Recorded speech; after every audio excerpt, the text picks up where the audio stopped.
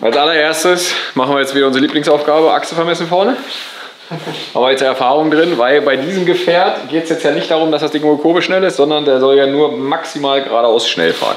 Das heißt, ganz andere Aufgabe, ganz andere Thematik. Fangen wir an mit Sturz, danach machen wir Radlast.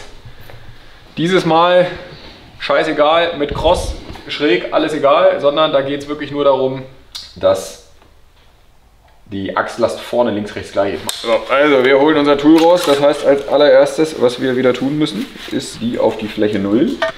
So, jetzt lassen wir das Auto runter. Am Bett ein bisschen vorsichtiger. Ja, und siehe da, 0,9 haben wir hier tatsächlich noch. Die testen wir, ob es so mehr wird, weniger wird. Ja, also hier haben wir tatsächlich 0,9. Schon noch recht viel. Oben raus, ne? Ja. Ähm, Flo, fahr mal das Auto so ein paar Zentimeter hoch, so wie wir der Meinung sind, wenn er ausfedern würde, was da passieren würde. Also mehr als so kommt er ja nicht hoch, ne? Nee, selbst so noch nicht. Also das waren jetzt 0,2. Also wir reden da davon, dass er maximal 0,1 ausfedert. Aber dann können wir uns den so einstellen. Genau, das heißt, ich würde ihn auf 0 einstellen äh, und fertig. So. Ähm, aber 1 Grad Sturz ist doch gar nicht so wenig, ne? Finde ich. Ja, zumindest liegt der Reifen nicht voll auf, ne? Ja, ja, das ist traktionsmäßig nicht zu unterschätzen. Ähm, okay, das heißt jetzt als allererstes beide auf 0 machen. Und dann packen wir die Wagen runter. Federbeine los, ne? Ja. Jo. Warte. Ja, ich glaube, er wollte nach hinten. Ist komplett frei? Ja, ne? Ja, war noch weniger als gedacht. Was hast du denn? 3,98. Das hat 5 Kilo gebracht. Ja, aber 8 cm, ne? Oder was sind Ja, 7. Da sieht man, wie wenig das ist. Krass, wie der immer nach vorne wandert. Mhm, ja, wegen Handbremse. Jawohl. Punktlandung. 0,0 bis 0,1 würde ich sagen. Perfekt. Das läuft doch. Willkommen bei Achsvermessung Widerstein. Ja, genau. Okay, das machen wir jetzt an der anderen Seite, dann Radlasten und dann geht's weiter.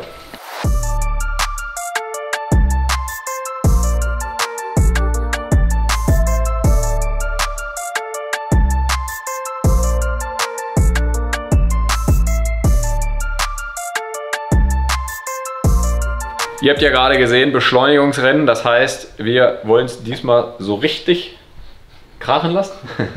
Ich sag ganz ehrlich, es könnte das letzte halbe Mile-Event für dieses Auto sein, weil das, was wir jetzt machen, ist wirklich das i-Tüpfelchen und dann alles weitere würde einfach dieses schöne, ich sag jetzt mal, Straßenauto verschandeln. Ja. Also wir machen jetzt nur Sachen, die man einfach danach wieder einbauen kann und dann ist das Auto einfach. Also mehr geht dann auch nicht. Da kommen wir allerdings später in der Videoreihe noch zu. Aber wir wollen natürlich nicht hier in den Krieg ziehen äh, mit einem extra ausgestatteten Golf 3, obwohl er fast keine Ausstattung hat. Ein paar Sachen können wir aber relativ einfach rausholen, das habt ihr gerade gesehen. Das heißt, wir fangen mal an hier mit unserem geilen Sitz. So, 14. Alter, Das hätte ich jetzt auch nicht erwartet. 14 Kilo. jetzt hier dieser Jetzt wird gestapelt hier. explodiert wird. 19 schon. 14? 15, ja, die kommen, die kommen ganz zum Schluss. Ah, wir müssen ja für die, für die Nachwelt paar Kilos festhalten. Alter.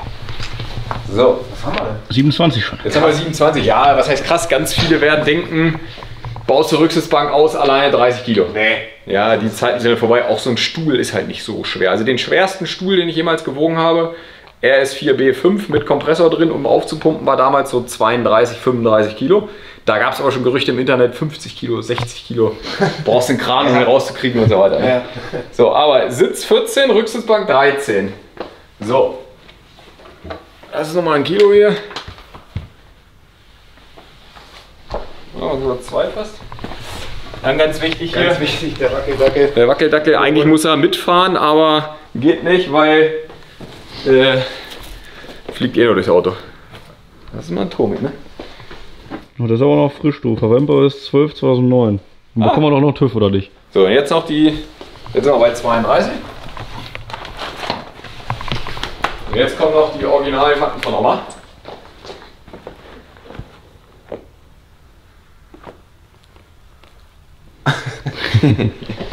Jawohl, 36. Ich meine auch, wir hatten es glaube ich schon mal gewogen, da waren es irgendwie 35. So, aber das heißt 36 Kilo raus, die 36 Kilo nehmen wir auf jeden Fall mit. Mein Bauchgefühl sagt mir bei dem Auto 36 Kilo sind auf der halben Meile 3, 4 km. Also ein bisschen was ist das definitiv. Deswegen kommt das jetzt einfach in der Ecke und fertig. Ähm, so wie er jetzt ist, macht es natürlich Sinn, dass ich mich gleich reinsetze und wir dann uns die Verteilung vorne angucken, das linke und rechte Rad ähm, das gleiche Gewicht hat. Vorher machen wir allerdings bei dem Auto eine Sache, wir hängen vorne mal den Stabi aus. Auf einer Seite zumindest, dass die Radlasten frei sind, weil hier kommt es ja da wirklich jetzt drauf an. Ähm, das heißt, da machen wir noch einmal Stabi leer. Das heißt, auf der Bühne, auf die vier Wagen, vorne auf der einen Seite Stabi abkoppeln. Und bei dem Stabi ist es tatsächlich so, eigentlich können wir den auch noch ausbauen. Das sind auch nochmal 3, 4 Kilo, ne? Nee, mehr. Mehr? Der VR-Stabi vorne sage ich 10 bis 12. Der ist Tonne schwer, das ist ja so ein dickes Ding. Theoretisch ist das Ding ja schnell. Ach ja, das ist ja der H&R-Stabil. Ja, genau. Aber Und der von ist eigentlich der, auch schnell draußen, ne? ja, vier Schrauben, ne? Ja. Machen wir gleich, ne? Wobei kriegt man den über die Achse beim Dreier rausgezogen? Kriegst du rausgekantet.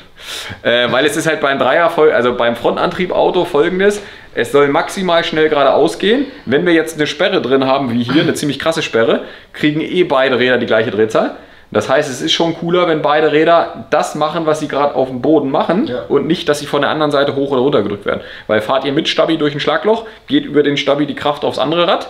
Dieses andere Rad kann in dem Moment aber gar nicht mehr Kraft übertragen, sondern das Rad, was in das Loch reinfährt oder von der Welle ja hochgedrückt wird, kann tendenziell mehr Kraft übertragen. Ähm, das heißt, zum geradeausfahren eigentlich Stabi raus. Ist halt immer eine Frage mit Fahrverhalten, ob das Auto anfängt so ein bisschen links-rechts. Aber eigentlich mit einer Sperre, die das genau verteilt, soll das eigentlich passen. Aber egal, lange Rede. Erstmal jetzt gucken, was er eh überhaupt gerade wiegt. Ich denke mal so um die 1100. Und ähm, dann einstellen vorne. Und den Berg bringen wir jetzt erstmal sicher beiseite. Spannender Moment. Oh. Das war meine Aussage gar nicht so schlecht. Alter, 1100 glatt. gar nicht so schlecht, sagt er. 1100 glatt. Ähm, jetzt muss man dazu sagen, der Tank bei dem Auto ist relativ groß und gerade überhalb voll. Das heißt, ich würde mal tippen, da sind so 30 Liter Sprit noch drin. Das sind ungefähr äh, 25 Kilo, 22 Kilo, 25 Kilo. Oh, schon gutes Gewicht jetzt für das Auto. Kann man schon machen. Also unter 1000 wird man niemals kommen, außer man macht wieder ein reines Racecar raus. Da sieht man dann doch mal im Vergleich, wie leicht Marios Golf dann war. Okay, aber so ist es jetzt für uns natürlich gerade nicht entscheidend, sondern jetzt können wir anfangen und uns reinsetzen. Jetzt setze ich mich mal rein und dann gucken wir mal, was, was vorne geht. Ui. 86 Kilo habe ich. ähm, ja, aber wie schon vermutet, hat das Sitzausbauen rechts nicht viel gebracht. Es ist sogar witzig, das Auto ist mit. Ich meine, wir hatten damals. Boah, ich weiß es schon wieder nicht mehr. Ich meine, wir hatten 20 Kilo links nach rechts, ohne dass wir die Sachen ausgebaut haben. Jetzt haben wir sogar 30 Kilo. 30 Kilo ist ganz schön viel zum Ausgleichen. Ähm, das werden wir so auch nicht hinbekommen. Das heißt, wir können nur mal gucken, wie das Auto reagiert. Das heißt, vorne links mal 5 mm hochdrehen, gucken, was passiert, vorher den Stabi lösen. Wenn da nichts passiert, würde ich es ehrlich gesagt sogar lassen, weil bevor wir das Ding jetzt komplett bockschräg stellen, ähm, würde ich es eher so lassen. Wichtig ist halt, dass es so einigermaßen passt. Immerhin so links zwar vorne leichter, aber dafür hinten wieder schwerer. Das heißt, wir sind links, rechts eigentlich bei 50,9. Also fast gleich. Was schon gar nicht so schlecht ist. Natürlich ist vorne die Achse angetrieben. Ähm, das heißt, wir wollen es eigentlich vorne gleich haben. Äh, ich habe gerade gesagt, bevor wir das ganze Auto jetzt komplett verstellen, testen wir genau eine Sache. Ähm, das ist vorne links 5 mm hoch. Und gucken, äh, was passiert. So, dann machen wir das mal, ne? Ich habe auch schon überlegt, oder ob wir gucken, ob wir hinten was machen und somit die Vorderachse quasi variieren. Theoretisch, wenn wir ihn hinten, du meinst hinten hochdrehen, Ja, theoretisch drückst du ja dann auf die Vorderachse sogar drauf, ne? Mhm. Traktionsmäßig wäre das vielleicht sogar besser, ne? Also weiß ich nicht, ob das was ausmacht, aber ist auf jeden Fall besser. Also es ist besser, hinten hochzudrehen als vorne runter. Ich überlege gerade, wie war denn das jetzt? Wenn wir vorne links jetzt hochdrehen, dann wird da hinten schwer, auch hinten Genau. rechts auch Genau, schwerer. immer über Kreuz dann, ne? Das heißt, wir müssten ihn hinten rechts hochdrehen und er wird vorne links auch schwerer. Theoretisch ja. Das würde auch am meisten Sinn machen, wenn ich mir die Zahlen gerade angucke, weil wir auch mit Abstand vorne rechts am leichtesten sind. Äh, hinten rechts. 165. Genau. Dann drückst du ihn. Ja. Genau, dann machen wir das. Also der zwar auch wieder hier stark sehen, ne? da wird nicht so viel kommen. Ja, aber, die ist aber so wabbelig, die. da aber klar, auf jeden Fall, nee, ist guter Einwand, hast du recht. Natürlich ist es bei dem Auto besser, ihn hinten hochzustellen, dass er vorne Druck kriegt. Alleine so von der dynamischen Last auch. Erstmal erstmal Döner. Erstmal Döner, dann hinten rechts. Alter Schwede. Also der Döner war gut, ist ein Kilo mehr. ähm, also die Idee, das Ganze so anzugehen, war auf jeden Fall perfekt. Weil wir haben vorne nichts verändert. Und wir sind schon extrem in die Richtung gekommen. Wie, wie gerade oder schräg steht er jetzt hinten gerade? Jetzt drückst du gerade ein bisschen drauf. Kann man messen, ne? Nur mal so Pi mal Daumen. Ja, das macht kaum Unterschied. Also wir haben ihn jetzt hinten rechts einen Zentimeter hochgedreht. Aber das war auf jeden Fall äh, goldrichtig, die Entscheidung so. Rechts 8. Ja, links 7 cm Tatsache. Ja, das also, passt. Tatsache ein Zenti. schräg. Ähm, jetzt könnte man natürlich anfangen. Man könnte den Bock hinten komplett hochdrehen. Ja, eigentlich da nochmal ein Zentimeter vielleicht und hier auch nochmal ein Zentimeter. Ja, das Problem ist, da gewinnt man jetzt nicht so viel dann mit. Ja, 3,96 zu 3,98. Den einen, die eine Umdrehung hinten haben wir uns noch gegeben. Alles weitere ist jetzt hier Sisyphus Arbeit. Ganz Auto an einen Federbein eingestellt. Das reicht schon. Ja. äh, aber so soll es sein. Also war, war genau richtig, weil ich weiß, wir hätten vorne äh, uns zu Tode gedreht. Das Ja. Ding hätte so gestanden. Ja. Ne? Aber das ist ja, deswegen machen wir das Ganze hier, um einfach so ein bisschen Erfahrung zu sammeln. Ne? Also besser geht's definitiv nicht. Wir haben das Auto gerade nochmal einmal vor und zurückgerollt auf den Böcken, dass er sich ein bisschen komplett löst. 3,97, 3,96. Da können wir arbeiten. Das passt so. Alter, jetzt kommt Conchara hier noch an. Ich mach mal hier Abnahme. Sag mal, Mann. Sieht's aus. So, du bist genau richtig, weil ich wollte gerade sagen, als letztes drücken wir noch das System hier ab. Ganz wichtig für so einen 3-Bar-Renner, dass alles dicht ist, weil man hört es einfach nicht. Bei den offenen Steuerungen ohne Luftmassenmesser merkt man es auch nicht, außer dass halt irgendwann nicht mehr genug Druck da ist. Deswegen einmal abdrücken. Wir wollten eigentlich hier eine Ansaugung für bauen noch. Hatten wir vielleicht auch am Anfang des Videos gesagt. Aber das ist wirklich ein Ding der Unmöglichkeit hier eigentlich. Ne? Ja, es ist platztechnisch einfach eine Katastrophe. Ne? Hier ist so wenig, selbst ein 100er Bogen, boah, das wird alles Ja. saftig. Und dann hatte ich bei TTE nochmal gefragt, was die empfehlen würden, ob ein enger Bogen, heißt ein Silikonbogen, der Mhm. so krass abknickt, oder einfach es so lassen. Da haben die definitiv gesagt, so ist leistungsmäßig für den Verdichter definitiv optimal. Okay. Soll nur gucken, dass genug Luft im Motorraum ist. Das wird bei 300 immer Ja, sein, weil tendenziell ist ja eher ein Überdruck. Da ist übel Luftbewegung. Klar. Das heißt, wir legen nur noch irgendwie eine Art Belüftung hin. Einfach so einen schönen Wellrohrschlauch, den wir da Ja. reinflanschen. Ähm, und dann passt das schon. Das, das wäre der enge Bogen, den wir da vielleicht draufkriegen würden.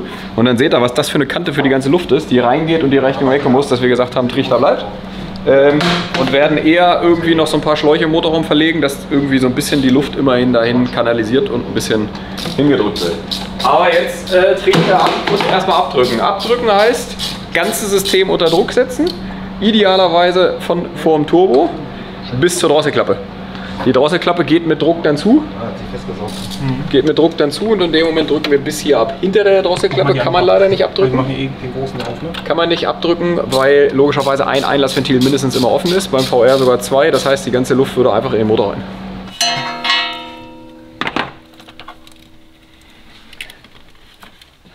Da ist er. Die hast du auch eingebaut, oder nicht? Sonst Nee, nee, nee. niemals rausgekriegt. Nee, nee, hab ich wirklich nicht, aber. Nur einmal abziehen, wir haben den gar nicht, nicht abgezogen gekriegt. Aber hier hat, hat Wehmeier wieder Peng Formance rausgehauen. ne? Mal schnell vorm Wörthersee zu Hause von Jessi das Nudelsieb zerschnitten. Hier drunter ist eigentlich ein, ein Alutrichter von uns. Und dann das Ganze schön rum und mit diesem selbstgeschweißten Ring, irgendwo es eine Schweißnaht, schnell mit Kabel noch gesichert. Geil. So baut man so einen, so einen Trichter. Hoch, ne? Wird sich hier nur ein bisschen Ja, ich hab's gerade auch schon nicht abgekriegt. Wollen wir eigentlich den Druckminderer gleich mal auf 4 Bar hochdrehen, ob er 4 Bar hebt? Nee, nee, ich dachte eigentlich, ich dachte eigentlich, wir stecken mit deinem Kompressor so eine 11 Bar Leitung da ran. Habe ich tatsächlich schon mal gemacht, weil bei mit meinem Tool, wenn du dann irgendwie so um 3 Uhr nachts, Vergessen Druckminderer an ran. 3 Uhr nachts anfängst, dran geschraubt, klung, Alter, das, das geht ja dann nicht sofort, sondern es dauert ja schon so 21, Der- der- 30, bis das Ding dann so Der bläst 4 sich dann Bar erstmal hat auf, ne? und dann ist das Ding durch die Halle geflogen. Kannst du dir vorstellen. Weil man muss natürlich den Druck, den man da jetzt gleich drauf gibt, ein bisschen drosseln. Also wir versuchen schon 3 Bar, Aber 3 Bar auf dem System ist so saftig, dass man schon immer Angst kriegt. Zack. Yes.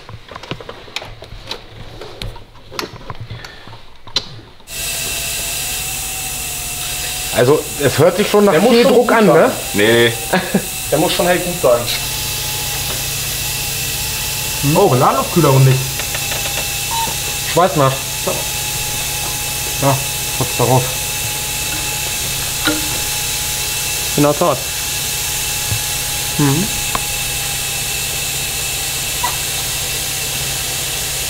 Müssen wir doch den Golf 4 nehmen am Wochenende. Kurz mal Motor umhängen. Das war jetzt wirklich Zufall, dass Benny gerade vorbeikommt und er jetzt gleich zufälligerweise den Ladekühler mitnehmen kann. Naja, ich sehe schon wo. Schweißgerät habe ich doch da. Kann man hier machen. Die hast du Alu-Gerät hier? Ja. Ja, aber das Problem ist, der wird nicht nur an einer Stelle dann. Ja, aber da müssen wir jetzt die Stellen durchmarkieren. Nee, ich würde ihn ausgebaut abdrücken. Ja. Boah, Front ab oder was? Jetzt zum Schweißen musst du eh. Äh, also Leute, ihr seht, wir meinen das ein bisschen ernster. Das, ich glaube, das erste Video für unsere Vorbereitung für die halbe Meile ein letztes Mal ist somit schon mal beendet. Ist auf jeden Fall lang genug. Wird noch genug passieren. Wir haben auf jeden Fall das Ziel, am Samstag zu fahren. Das heißt, äh, ganze Front ab, Ladekühler schweißen. Mal gucken, wo noch undicht ist. Das hören wir uns jetzt gleich ganz in Ruhe an. Dann auf den Prüfstand, dann fahren und so weiter. Ich würde sagen, danke fürs Zuschauen. Unterboden bauen wir auch noch was Geiles. Allerdings auch ein größeres Projekt. Äh, danke fürs Zuschauen und bis zum nächsten Mal.